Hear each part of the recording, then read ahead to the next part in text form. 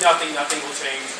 And so you have to be part of the solution. You have to attend your local precinct council meetings, your local community board meetings, your local civic association meetings, um, because if, we have no choice but to try. Uh, that's how I see it. We might fail, but we have no choice but to try.